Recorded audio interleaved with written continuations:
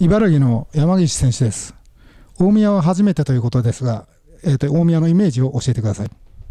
えー、500バンクなんで直線が長いかなとは思ってますね。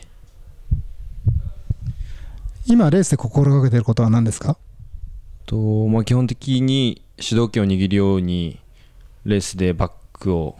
バック本数をしっかり取ってあとは末を強化しないといけないなとは心がけて練習と競争を走ってます。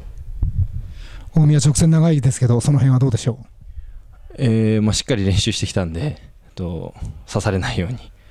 走れればなと思ってますね。茨城ではですねあの吉田拓也選手鈴木隆二選手という、まあ、2人のねあの大物新人がいるんですけど山岸選手もそれに負けず劣らずの、ね、戦いをしてきてると思いますがその辺は意識されますか、えー、やっぱり同期なんであの意識はすごいしてるんですけどまだまだ2人に及ばない部分が多いんで、まあ、しっかり力つけて早めに同じレベルで、えっと、戦えるようにしたいと思ってます。